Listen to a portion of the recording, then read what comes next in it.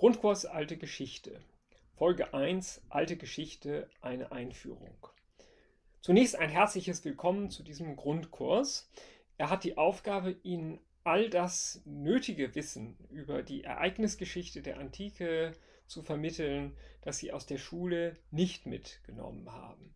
Also insofern passen Sie gut auf, versuchen Sie möglichst vieles von dem in Ihrem Langzeitgedächtnis abzuspeichern, was ich Ihnen jetzt sage. Und äh, lassen Sie sich überraschen, was die alte Geschichte äh, zu bieten hat. Heute in der Einführung soll es um drei Fragen gehen. Erstens, was ist alte Geschichte? Zweitens, warum alte Geschichte? Und drittens, mit welchen Quellen arbeitet die alte Geschichte? Zuerst, was ist alte Geschichte? Äh, nun, da kommen einem viele Antworten in den Sinn. Alles, was irgendwie sehr lange her ist. Äh, man denkt äh, spontan vielleicht an die Griechen und die Römer, aber eben auch an äh, Ägypten oder das alte Mesopotamien, vielleicht auch das alte China oder das alte Indien oder sogar die Azteken oder die Mayas. Was ist denn nun die alte Geschichte? Zunächst die Frage, um welche Zivilisation geht es eigentlich in unserem Fach? Dann äh, daraus abgeleitet, wie lässt sich die alte Geschichte chronologisch eingrenzen? Also von wann bis wann spielt eigentlich die Geschichte, mit der wir uns beschäftigen? Dann äh, drittens, äh, wie lässt sich die alte Geschichte periodisieren? Also was für Teilepochen äh, gibt es innerhalb der alten Geschichte? Das möchte ich in diesem ersten Schritt mit Ihnen besprechen. Zunächst also, um welche Zivilisationen geht es? Sie haben hier schon äh, angedeutet eine Karte des Mittelmeers und tatsächlich der Bereich, den wir hier sehen, das sind die zentralen Räume, mit denen wir uns in der alten Geschichte beschäftigen. Einmal äh, im Osten äh, die Südspitze der Balkanhalbinsel, Griechenland, ganz im Süden sehen Sie die Peloponnes und dann die vielen Inseln in der Ägäis, einschließlich der heute türkischen Westküste. Äh, das ist äh, einer der Räume, mit denen wir uns befassen. Und dann zweitens die Apenninhalbinsel, also Italien, einschließlich der großen Inseln äh, Sizilien, Sardinien und Korsika. Das ist der zweite große Pol der alten Geschichte. Schauen wir mal, wie sich das dann so darstellt. Also zunächst mal haben wir hier diesen Bereich, die südliche Balkan. Halbinsel, das ist Griechenland. Äh, die Griechen selbst sprachen von Hellas, also eine Zivilisation äh, sui generis, äh, klar abgegrenzt durch ihre Sprache. Wer Griechisch spricht, ist Grieche, wer nicht Griechisch spricht, ist kein Grieche, der ist ein Barbar. Das war die Selbstwahrnehmung der Griechen. Und dann äh, als zweites großes Zivilisationszentrum der Antike Rom, hier in der Mitte Italiens und dann äh, durch eine singuläre Expansion, zunächst mal in Mittelitalien und dann auf dem italienischen Stiefel, eine Hegemonialmacht erst im westlichen Mittelmeer und dann schließlich in noch größerem Maßstab, wir sehen das hier, äh, eine imperiale Macht die das ganze Mittelmeerbecken kontrolliert, von der Iberischen Halbinsel hier über Gallien, den Balkanraum, Griechenland selbstverständlich eingeschlossen, äh, Anatolien, also die heutige Türkei, äh, Vorderasien äh, und dann das gesamte Nordafrika, einschließlich Ägyptens. Also ein Reich, das sich um das Mittelmeer herum äh, entwickelt und das, das gesamte Mittelmeerbecken in einer einzigen politischen Struktur zusammenfasst. Das ist sozusagen der Höhepunkt antiker Geschichte, wenn Sie so wollen, also zumindest äh, äh machtpolitisch der Höhepunkt, äh, das Römische Reich, das dann im äh, ersten und zweiten Jahrhundert nach Christus diese gigantischen Ausmaße erreicht. Äh, wenn wir jetzt in einer äh, etwa, noch etwas größeren Skala das Ganze sehen, dann äh, ist das Mittelmeer eigentlich nur eine Teilregion des ganzen Raumes, mit dem wir uns als Althistoriker beschäftigen. Wir haben hier zunächst tatsächlich das Mittelmeer, hier gelb umrandet, das Mittelmeerbecken, dann rot hier Gallien und Germanien, Britannien im Nordwesten, orange der Nahe Osten, ein Raum äh, für sich, östlich daran angrenzend äh, Persien, der Iran. Und äh, dann äh, hier so äh, türkis umrandet die verschiedenen Steppen- und Wüstengrenzräume ganz am Rand der alten Welt. Einmal im nördlichen Schwarzmeergebiet, Südrussland, die Steppen, dann der Süden der arabischen Halbinsel und schließlich der Sahara-Raum, bevölkert hauptsächlich von nomadischen Gruppen, die aber aufs engste mit den äh, Kulturen der antiken Mittelmeerwelt interagieren und insofern auch auf diese Landkarte äh, der antiken Zivilisationen selbstverständlich gehören. Also da haben wir hier schon einen sehr viel größeren wenn Sie so wollen, jetzt äh, fast schon semi-globalen Wirkungszusammenhang. Äh, all das sollte man als Althistoriker äh, durchaus mit auf dem Schirm haben. Es wird aber jetzt noch globaler. Wenn Sie jetzt mal die Perspektive verschieben und das Ganze etwa, den Globus etwas drehen, äh, so dass wir den Indischen Ozean und den indischen Subkontinent hier in der Mitte haben, dann ist das Mittelmeer plötzlich ganz am Rande. und es tritt im ersten Jahrhundert äh, vor Christus mit dieser Welt, die äh, ihr Zentrum im Indischen Ozean hat und für den der Indische Ozean so eine Art Drehscheibe ist, mit dieser Welt tritt das Mittelmeerraum äh, seit dem ersten Jahrhundert vor Christus dann systematisch in Kontakt. Das sind zunächst mal Indien, dann aber daran angelagert hier China, äh, der vordere Orient, äh, also mit äh, dem Nahen Osten und mit dem Iran. Und dann äh, hier blau äh, umrandet ganz am Rande das Mittelmeerbecken und hier äh, so bräunlich eingekreist äh, der Raum um das Rote Meer, die arabische Halbinsel und vor allem das Horn von Afrika, auch noch das subsaharische Afrika. Alle diese Zonen sind äh, über diese große Drehscheibe des Indischen Ozeans wo äh, dann eben Geografen die Monsunwinde entdecken und äh, die, die Kraft dieser Monsunwinde Seefahrer von der einen Seite äh, zur anderen Seite des Indischen Ozeans zu befördern. Äh, all das wird äh, ab dem ersten Jahrhundert vor Christus immer engmaschiger miteinander verflochten. Insofern kann man sagen, die Antike, die griechisch-römische Antike, wird dann im ersten Jahrhundert vor Christus zu einer tatsächlich semi-globalen Zivilisation. Wir können Indien, China, Afrika, den Nahen Osten, diese Räume können wir als Althistoriker überhaupt nicht mehr ignorieren. Also was sich da abzeichnet, ist in der Tat so etwas wie eine äh, afro-eurasiatische äh, Proto-Globalisierung. Wenn wir jetzt uns fragen, äh, mit was für Zivilisationen haben wir es zu tun, was für Epochen haben wir da in der alten Geschichte, dann äh, ist das in der Tat erstmal ganz zentral Griechenland, also der Raum südlicher Balkan und Ägäis, das ist etwas, womit wir uns beschäftigen, was wir auch sprachlich durchdringen können. Eben, wir haben griechische Quellen, äh, altgriechische Quellen, äh, die uns diesen Raum äh, erschließen.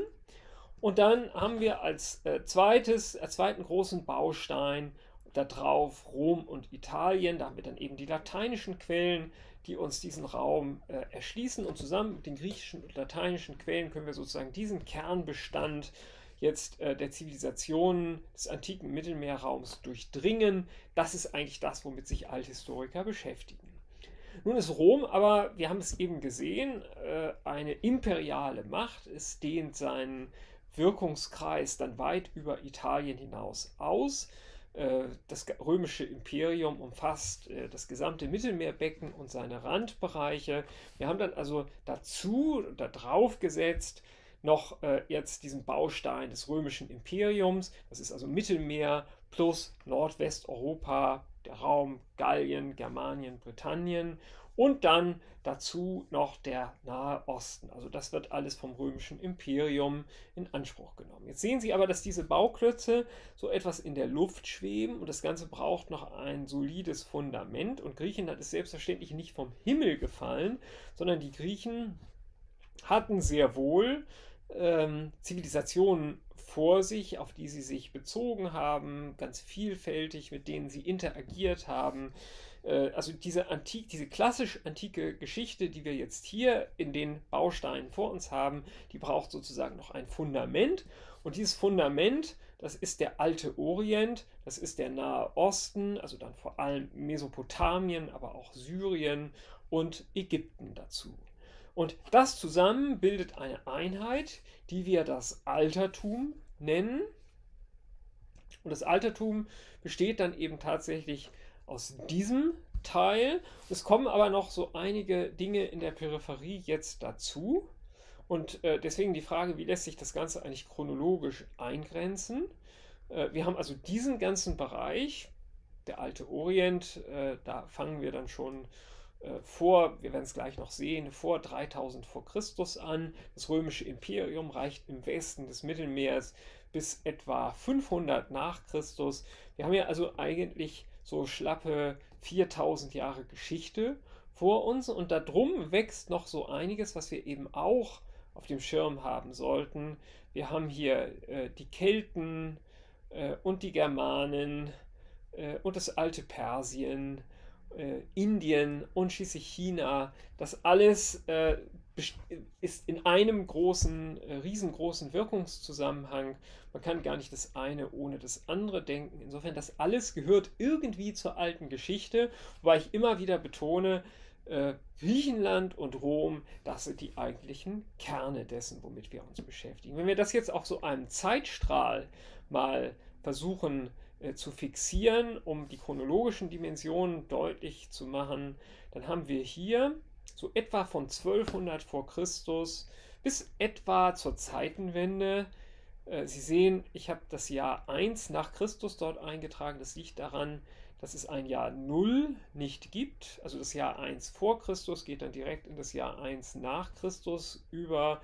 Das hat ein Mönch aus der Spätantike mal äh, so festgesetzt und er hat sich dann bei der Bestimmung der äh, Geburt Jesu Christi, da hat er sich auch noch ein paar Jahre verhauen. Das macht aber nichts, äh, das ist unsere, unser großer Fixpunkt, dieses Jahr 1 nach Christus. Also bis dahin reicht etwa das, was man eine eigenständige griechische Geschichte nennen könnte. Also wir überblicken hier jetzt ungefähr 1200 Jahre Geschichte. Und wenn wir jetzt auf Rom gucken, das ist sogar noch ein bisschen länger, ähm, Rom bei, bei dem äh, Historiker Varro im ersten Jahrhundert vor Christus, da steht, äh, Rom äh, wurde 753 vor Christus gegründet. Natürlich konnte er das noch nicht sagen vor Christus, aber er hat das nach Olympiaden, also nach der griechischen Zeitrechnung, ausgerechnet. Da kommt man, wenn man das in die christliche Zeitrechnung umrechnet, auf das Jahr 753. Sie kennen vielleicht noch aus der Schule den Spruch 753 Rom kroch aus dem Ei.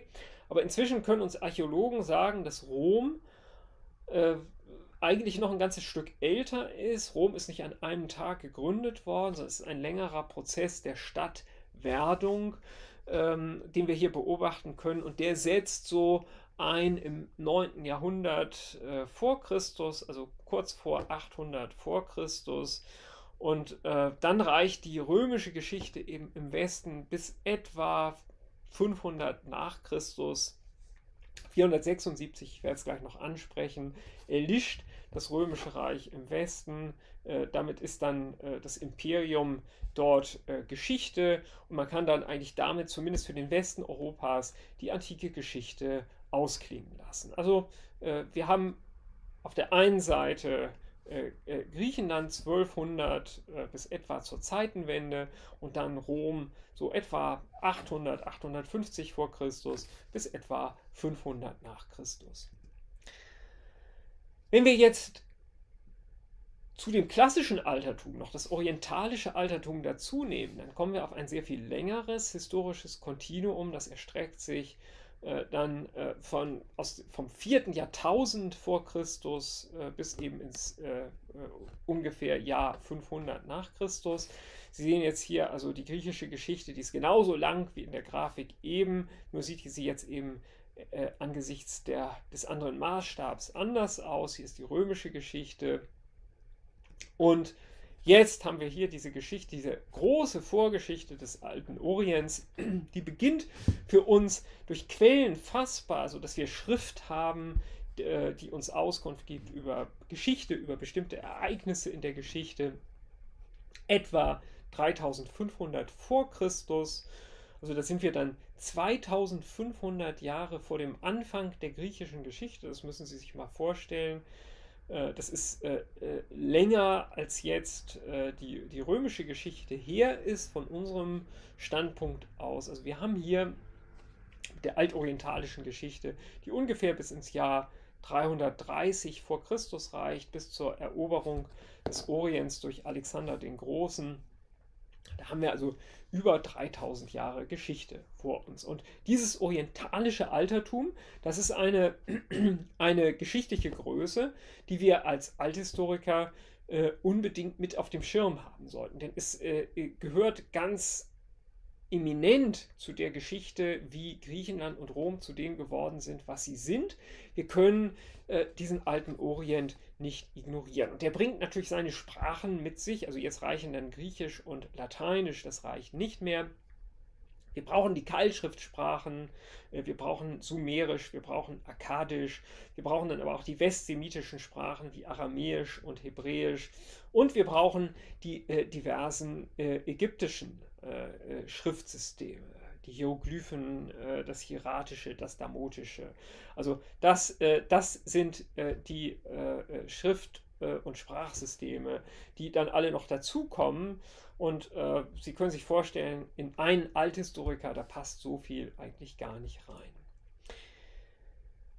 Äh, ganz kurz, äh, was sind eigentlich jetzt die großen welthistorischen Zäsuren, die diese Geschichte einteilen? Äh, da können wir noch ein bisschen zu, weiter zurückgehen oder eigentlich noch viel weiter zurückgehen, nämlich ungefähr ins Jahr 11.000 vor Christus. Da fängt es an, dass Menschen sesshaft werden und vom Jagen und Sammeln zu so etwas wie sesshafter Landwirtschaft allmählich anfangen überzugehen und äh, dann eben, sagen wir, bis ins Ende der Antike 500 nach Christus, was sind das für große Einschnitte, mit denen wir es da zu tun haben? Also als erstes die sogenannte Neolithische Revolution, da werden wir nächste Woche noch relativ ausführlich drüber sprechen. Von 11.000 vor Christus bis hin dann zum Übergang äh, zu sesshafter Landwirtschaft, äh, 11.000, 10.000 vor Christus. Das Ganze vollzieht sich alles in der nördlichen Levante, ungefähr da, wo heute der Grenzraum zwischen den Staaten Syrien und der Türkei ist. Da äh, bricht also sozusagen diese neolithische Revolution 11.000 vor Christus, vor 13.000 Jahren mittlerweile aus. Und Menschen werden sesshaft und betreiben Landwirtschaft. Dann viel, viel später kommt die zweite große Revolution. Da sind wir hier in Mesopotamien im Zweistromland zwischen Euphrat und Tigris. Das ist die urbane Revolution. Da sind wir etwa 3500 vor Christus und da entstehen erste Städte und äh, die Bewohner dieser Städte, die spezialisieren sich funktional, nennen wir das. Das heißt, es bilden sich so etwas wie Berufe. Äh, nicht mehr alle Leute machen Landwirtschaft, sondern es gibt plötzlich Handwerker, es gibt Schreiber, es gibt Soldaten, ähm, ganz, ganz viele äh, Funktionen, die Menschen plötzlich wahrnehmen können. Äh, eine, ein großer gesellschaftlicher Durchbruch, der sich hier vollzieht.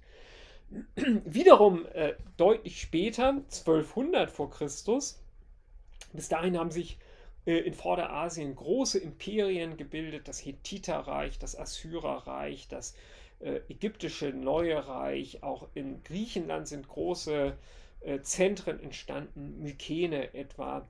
Diese Zentren und Imperien, die brechen um 1200 vor Christus äh, ganz plötzlich und alle äh, mehr oder weniger zum selben Zeitpunkt alle zusammen und man fragt sich, äh, was ist da eigentlich los? Es beginnt ein völlig neuer Abschnitt der Geschichte und das ist so etwas wie die Initialzündung zu dem Abschnitt, den wir dann die klassische Antike nennen. Also dieses Jahr 1200 ist ganz wichtig, ein ungemein wichtiger historischer Wendepunkt. Diese Imperien in Vorderasien, die müssen sozusagen zusammenbrechen, damit das, was wir die klassische Antike nennen, sich überhaupt entrollen kann.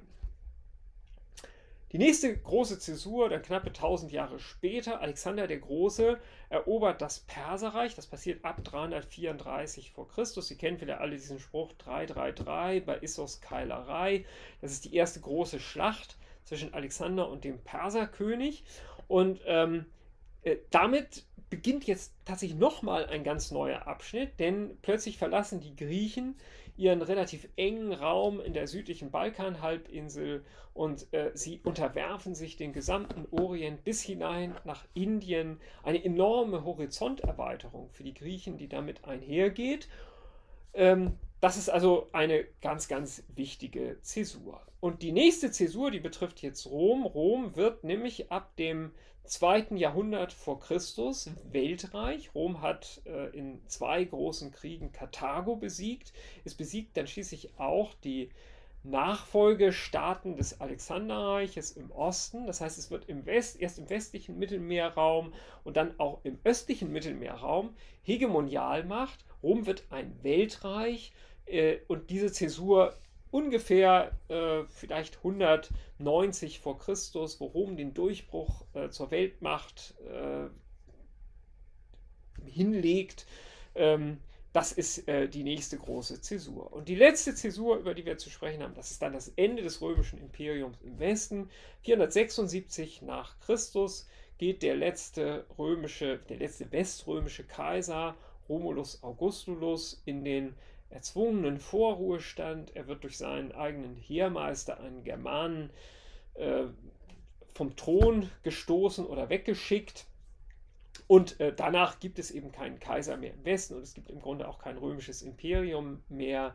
Und äh, diese ganze große, immer weitergehende Vernetzung, Verflechtung der antiken Mittelmeerwelt, das ist jetzt einfach auf Null zurückgesetzt.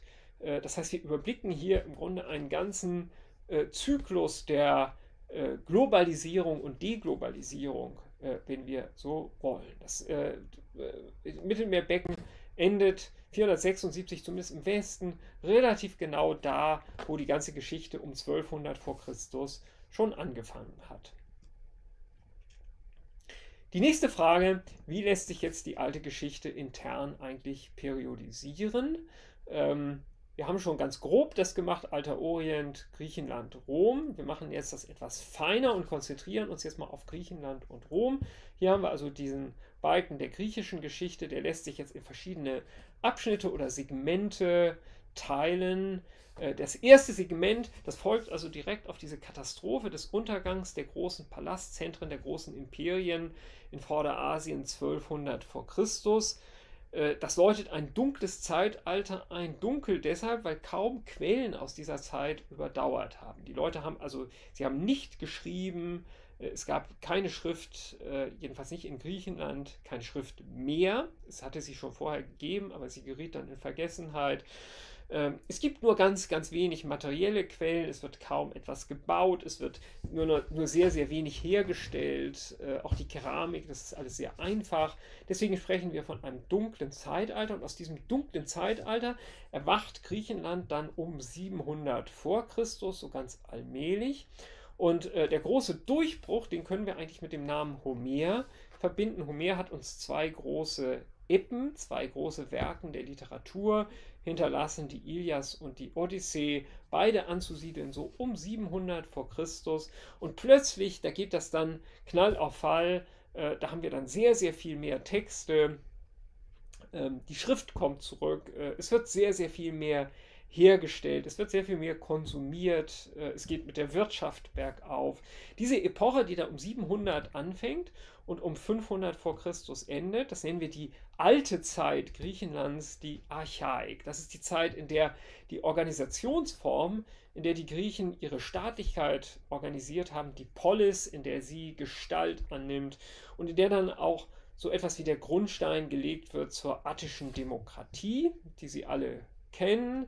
Äh, die kommt dann allerdings voll zum Durchbruch in der Klassik, also der Phase griechischer Geschichte, die wir sozusagen für das absolute Nonplusultra der griechischen Geschichte halten. Athen und Sparta, das sind jetzt die großen Vormächte auf der südlichen Balkanhalbinsel. Sie kämpfen um die Hegemonie, liefern sich auch einen großen Krieg. Aber es gibt eine enorme kulturelle Blüte, die griechische Philosophie, Platon und Aristoteles, äh, die Tragödie, ähm, äh, Sophokles, Euripides, äh, Aeschylus, äh, die Komödie, all das äh, erlebt äh, zu dieser Zeit eine Blüte. Es ist also ein, eine Art Feuerwerk äh, der Dinge, die man plötzlich ausprobieren kann. die Klassik ist also insofern eine der interessantesten Teilepochen der alten Geschichte. Und schließlich dann der Hellenismus, eingeläutet durch Alexander den Großen ab 330 äh, ungefähr, also bis zur Eroberung des letzten großen hellenistischen Reiches Ägypten durch die Römer 31 vor Christus. Der Hellenismus, das ist dann eigentlich gar nicht mehr auf die griechische Geschichte begrenzt. Äh, das ist eine Weltkultur. Äh, der Hellenismus erfasst alle vom Westen des Mittelmeers bis hin nach Indien eine äh, äh, enorme Horizonterweiterung, die damit einhergeht. Im Grunde genommen schon so etwas wie eine Vorwegnahme von Globalisierung. Und dann äh, haben wir teilweise parallel dazu die römische Geschichte und auch sie äh, zerfällt in vier Perioden. Äh, da gehen wir stärker danach, wie ist eigentlich die römische Staatlichkeit organisiert. Zunächst haben wir ab diesem legendären Gründungsdatum 753, ein gewisser Romulus soll Rom gegründet haben, bis 510 vor Christus das ist die Königszeit, zumindest die Schlussdatum 510, wo die Könige gestürzt werden. Das ist relativ zuverlässig. Und dann haben wir eine lange Phase, in der mehr als eine Person den Ton angibt in Rom und äh, Politik gestaltet, wo das eine, ein kollektives Projekt wird. Das ist die Römische Republik von 510 bis 27 vor Christus. Daran anschließend mit Augustus beginnen, 27 vor Christus bis 284 nach Christus, die römische Kaiserzeit, also die Zeit, wo Rom dann wieder eine Monarchie äh, wird mit dem Prinzipat einer Monarchie sui generis, also einer, einer Monarchie in einer ganz besonderen römischen Ausprägung. 284 nach Christus die Herrschaft des Kaisers Diokletian, der dann eine neue Art von Kaisertum begründet. Das läutet dann die Phase ein, die wir die Spätantike nennen. Ich lasse die dann 550 nach Christus etwa ausklingen mit dem römischen Kaiser Justinian, der im Osten regiert, aber nochmal so etwas versucht wie die Wiedervereinigung der beiden Reichshälften West und Ost. Das ist ein militärisches Projekt, das am Ende scheitert, aber damit können wir die Antike dann eigentlich guten Gewissens ausklingen lassen. Insofern hier also diese acht Teilepochen, merken Sie sich das, darin müssen Sie sich im Schlaf zurechtfinden, was das ist. Also von, von der, im Grunde vom dunklen Zeitalter bis zum Hellenismus bei den Griechen, von der Königszeit bis zur Spätantike bei den Römern. Im zweiten Teil möchte ich Ihnen jetzt ein paar Dinge vermitteln, warum es sich überhaupt lohnt, alte Geschichte zu studieren. Äh, einige von Ihnen werden es mit Begeisterung tun, äh, die anderen, vermutlich sind es mehr, die sagen sich, naja, mich interessiert doch eigentlich was ganz anderes, mich interessiert doch eigentlich die Weimarer Republik oder äh, meinetwegen äh, die Zeit der Reichsgründung oder der Nationalsozialismus. Äh, warum muss ich jetzt etwas machen, wenn ich Geschichte studiere, was so schrecklich lange her ist wie die alte Geschichte? Und äh, ich hoffe Ihnen auf diese Fragen äh, dadurch, dass ich hier ein ganz paar Argumente für die alte Geschichte Ihnen präsentiere, dass ich Ihnen darauf eine Antwort geben kann. Äh, zunächst mal, es gibt eine Menge Einwände, sowas wie Latein ist eine tote Sprache, was kann man damit überhaupt anfangen? Äh, das ist doch lange her. Oder habe ich oft gehört, das antike Palmyra, das waren doch bloß ein paar Steine. Äh, ja, aber dann auch solche Argumente wie die alten Römer und die alten Griechen, das sind doch alles alte weiße Männer oder die alten Sprachen. Das ist etwas, womit sich die Eliten von der Masse unterscheiden möchten. Da geht es eigentlich um Herrschaft. Äh, also solche Kommentare habe ich oft gehört. Ähm, ich äh, äh, sage, was da im Grunde genommen im Vordergrund steht, bei denen, die so kommentieren, das ist ein Kosten-Nutzen-Denken. Und da sollten Sie sich jetzt als Geschichtsstudenten sagen, dieses Kosten-Nutzen-Denken, das ist erstmal eine Kategorie, da mache ich gar nicht mit. Da, äh, also diese, diesen Fragen äh, verweigere ich mich. Ich frage gar nicht danach, was kostet das jetzt eigentlich und was bringt das sozusagen in unmittelbarem Nutzen. Ich bin ja an etwas ganz anderem interessiert. Sie sind daran interessiert, äh, zu verstehen. Und das Verstehen funktioniert über Erklären.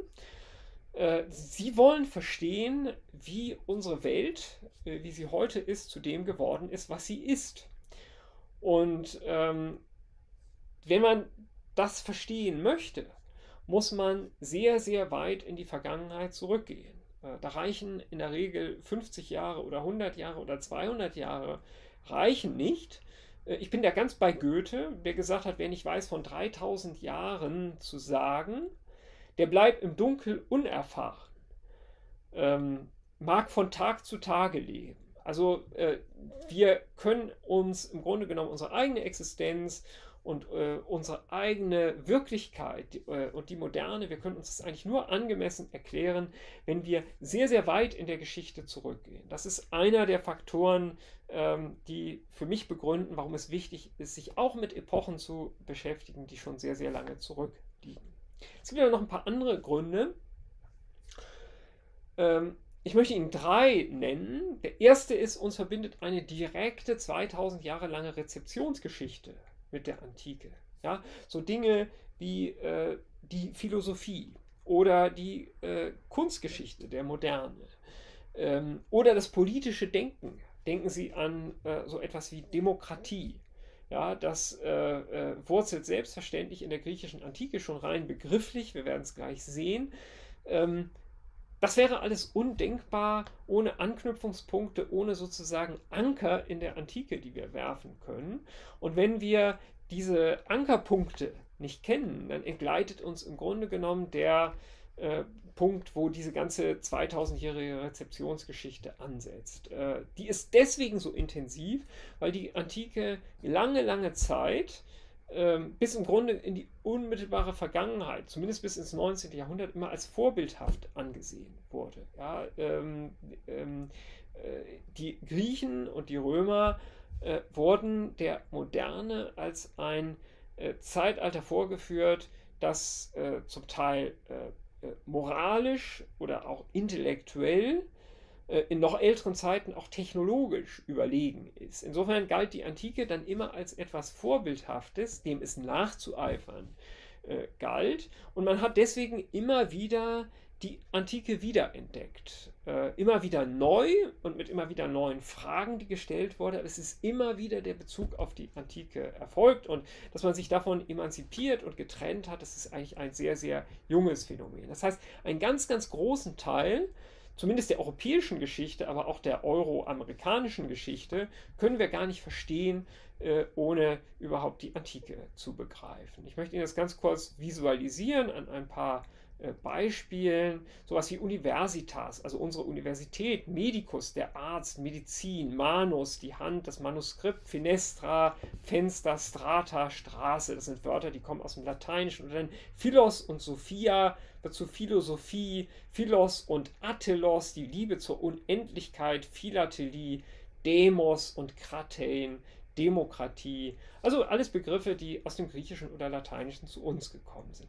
Dann schließlich so etwas, wenn Sie durch Oldenburg gehen und sich mal Säulen angucken. Eine dorische Säule, eine ionische Säule, eine korinthische Säule. Das sind so architektonische äh, Archetypen, Urformen, denen Sie immer wieder begegnen werden in den unterschiedlichsten ähm, Kombinationen und Modularisierungen. Ursprünglich ausgedacht haben sich das die Griechen aber äh, sie kommen im Grunde genommen, wenn Sie sich die moderne Architektur angucken, sie kommen gar nicht ohne äh, dieses Wissen aus, äh, wie eigentlich griechische Architektur funktioniert. Äh, ähm, das erklärt Ihnen letztendlich dann auch, wie moderne Architektur funktioniert. Damit bin ich schon beim zweiten Grund.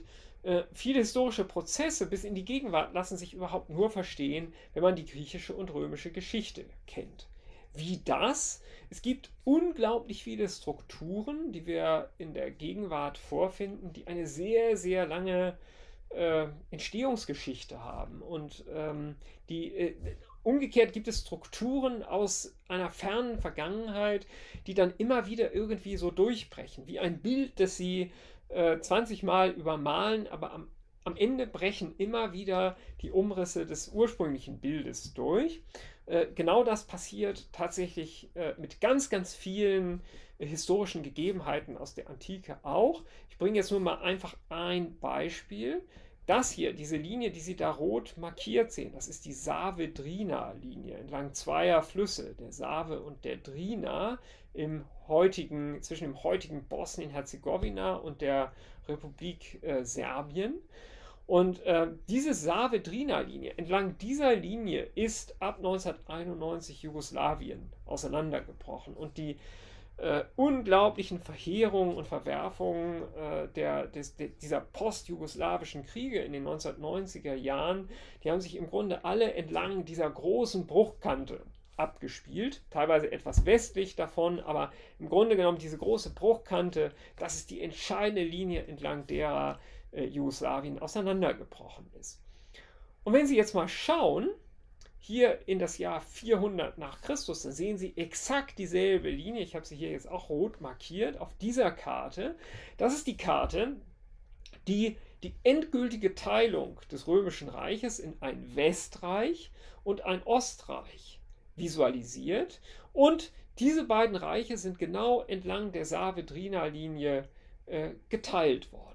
Und äh, mit einer, mit äh, einem einer enormen äh, Energieladung, die dann weit in die Zukunft strahlt.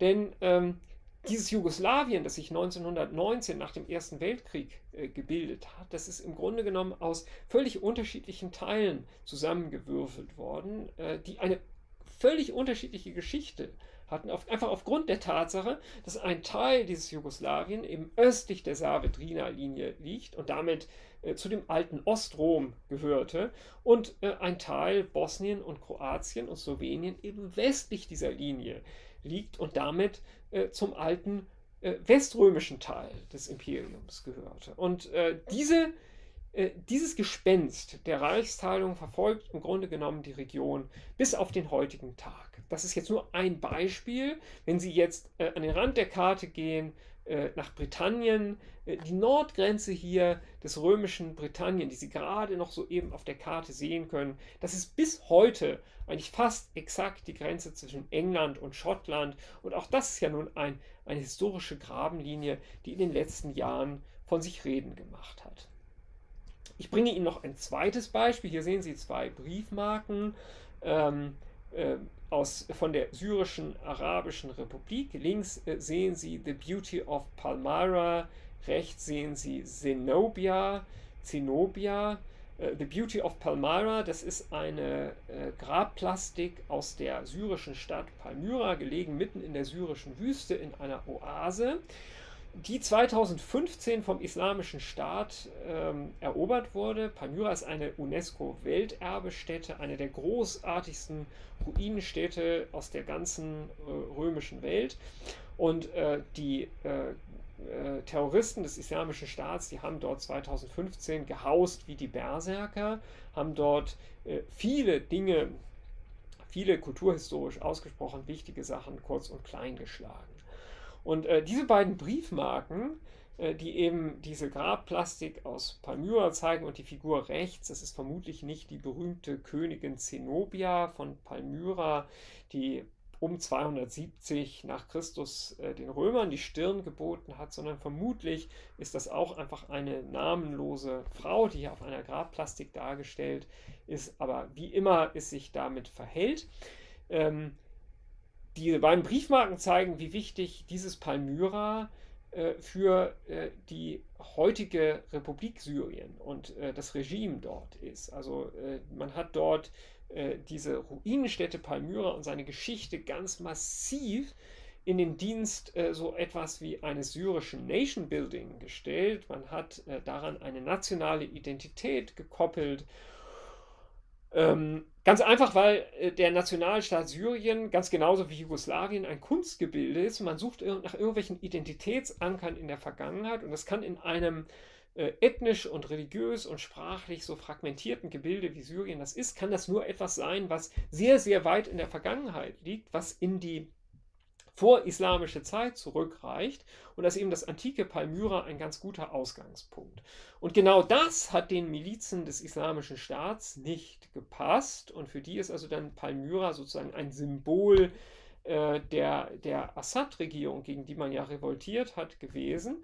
Und hier sehen Sie also einen der großartigsten Tempel der ganzen römischen Welt. Nach 2015 ist der dann nur noch ein Haufen tatsächlich alter Steine gewesen, denn die äh, ähm, Guerillas vom Islamischen Staat haben dort eine mächtige Bombe mit so und so viel Tonnen TNT-Sprengkraft äh, explodieren lassen. Und es ist nur dieses eine große Portal, das Sie da ganz rechts im Bild sehen, das ist tatsächlich stehen geblieben.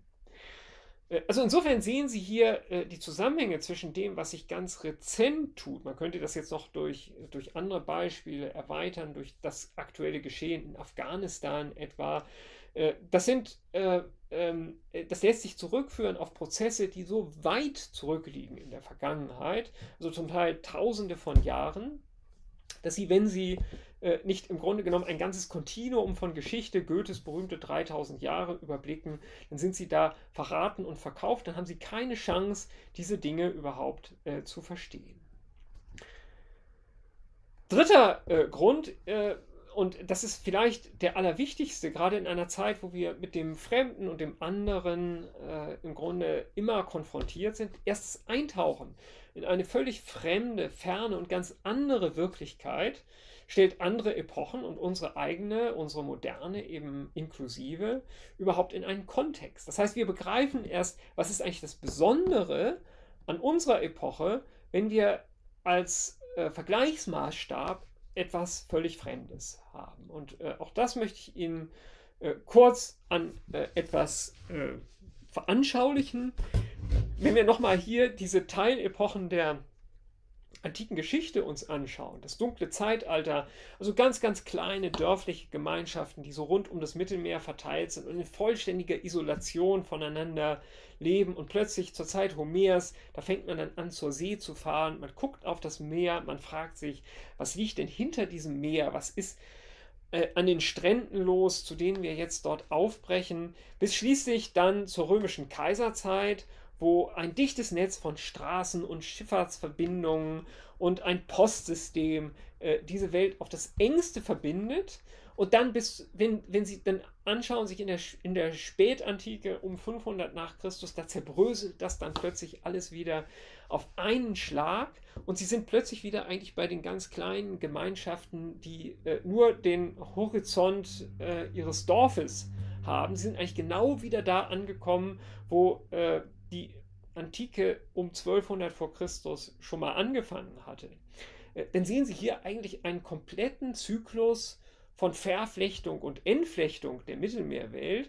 Und wenn Sie so wollen, einen kompletten Zyklus auch von Globalisierung und Deglobalisierung vor sich, sodass das dann Fragen aufwirft, wenn wir jetzt nochmal hier auf unsere Kreise, also diese ganz große Verflechtung des afro-eurasischen Raumes, wenn wir das uns anschauen, ist eigentlich die Frage, ist Globalisierung eigentlich unumkehrbar? Geht die immer weiter? Oder kann das sein wie in der Antike, dass irgendwann jemand daherkommt und den großen Reset-Knopf drückt und alles fängt von vorne an?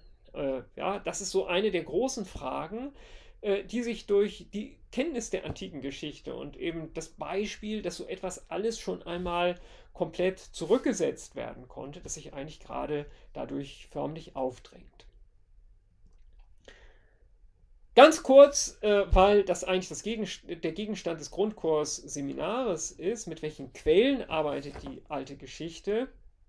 Wir haben es im Grunde hauptsächlich mit vier Typen von Quellen zu tun. Wir beschäftigen uns mit literarischen Texten. Diese literarischen Texte sind in den seltensten Fällen direkt auf uns gekommen, sondern sie wurden äh, von den äh, Mönchen in den mittelalterlichen Klöstern, wurden sie kopiert, abgeschrieben von Papyrusrollen auf Kodizes, also auf äh, im modernen Sinne gesprochen Bücher, die dann aus Pergament und also einem beständigeren Material waren und sind auf diese Weise erhalten geblieben. Allerdings sind nur etwa vielleicht zwischen 5 und 10 Prozent aller antiken Texte überhaupt erhalten. Also es hat ein viel, viel größeres, ähm, äh, einen viel, viel größeren Schatz von Texten ursprünglich gegeben. Und auch daran sehen Sie das Ausmaß dieser kolossalen Deglobalisierung in der Spätantike.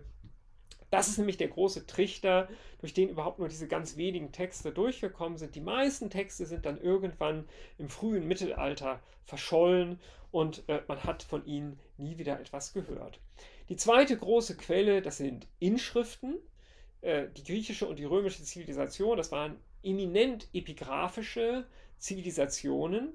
Äh, das bedeutet, man hat in Stein gemeißelt, was zu meißeln war. Grabinschriften, Ehrinschriften, äh, Triumphinschriften, Inschriften aller Art, Bauinschriften selbstverständlich. Äh, alles, was irgendwie für die Nachwelt äh, übermittelt werden sollte. Das wurde dem Stein anvertraut und hat deswegen tatsächlich in vielen Fällen, wir haben äh, Hunderttausende von Inschriften aus der Antike, hat in sehr, sehr vielen Fällen tatsächlich bis heute überlebt. Eine weitere Fundgattung, die ebenfalls sehr dauerhaft ist, sind Münzen. Sie sind klein genug, oft lohnt es sich nicht, die einzuschmelzen, höchstens wenn sie aus Gold sind. Die sind dann natürlich auch sehr viel seltener. Aber Münzen dokumentieren alte Geschichte sehr gut, schon deswegen, weil sie in der Regel ganz genau datierbar sind. Und wenn Sie eine Münze irgendwo finden, die, dann können Sie den Fundkontext, wo diese Münze gefunden ist, manchmal bis auf ein Jahr genau datieren. Und schließlich die vierte große Gruppe von Quellen, mit denen wir uns beschäftigen, das sind Papyri und Pergamente. Also auch äh, Texte, die aber eben auf einem originalen antiken Material festgehalten sind. Zum Teil sind das auch literarische Texte, die wir da finden. Äh, zum großen Teil sind das aber einfach Verwaltungstexte, Wirtschaftstexte, irgendwelche Verträge, äh, Rechtstexte, äh, die äh, ganz normale Römer, so wie du und ich oder Griechen, äh, dem Papyrus anvertraut haben und äh, in bestimmten trockenen Milieus wie in Ägypten oder äh, im Nahen Osten haben sich eben diese Texte dann erhalten. Sie vermissen hier vielleicht archäologische Quellen. Das ist nun in der Tat eine andere Wissenschaft, die sich darum kümmert. Das sind die verschiedenen Archäologien, also vor allem jetzt mal die klassische Archäologie, aber auch die provinzialrömische Archäologie. Die fragen nach äh, den archäologischen Überresten äh, der Antike. Das ist aber natürlich etwas, was wir als Althistoriker nicht äh, ignorieren können. Nur wir erforschen es nicht selbst, wir erforschen es sozusagen aus zweiter Hand. Ganz kurz ein paar Schlüsselbegriffe nach dieser Vorlesung, die Sie sich unbedingt merken sollten. Das sind die im Wesentlichen die Epochen, die ich angesprochen habe. Merken Sie sich dunkles Zeitalter, Archaik, Klassik, Hellenismus, römische Königszeit, römische Republik, römische Kaiserzeit und Spätantike. Also wenn Sie diese Periodisierung jetzt mitnehmen aus der Vorlesung, dann ist das schon sehr gut. Sie können sich unbedingt auch merken, die Savedrina-Linie, das ist äh, über die antike Geschichte hinaus ein wichtiger Begriff. Und die Reichsteilung von 395 nach Christus, das ist etwas, was, das wird uns in der antiken Geschichte immer mal wieder begegnen. Also das sind Begriffe, die sollten Sie sich merken. Abschließend Literatur, das ist eher schmal. Sie können gerne, wenn Sie die Gründe nochmal nachlesen wollen und in vielleicht noch etwas eleganter formulierter Art und Weise ähm, als ich das jetzt Ihnen dargeboten habe, lesen Sie von Christian Mayer, was soll uns heute noch die alte Geschichte, äh, nachzulesen bei Wilfried Nippel über das Studium der alten Geschichte München 1993, Seiten 323 bis 352. Äh, dieser Text, äh, der, äh, da werden Sie sowieso nicht drum rumkommen, äh, der wird Ihnen äh, ganz sicher im Seminar begegnen. Dafür ist der sowieso zu lesen. Also insofern ähm, keine Frage, den lesen wir alle gemeinsam. Machen Sie es gut, bis zum nächsten Mal. Äh, herzlichen Dank fürs Zuhören.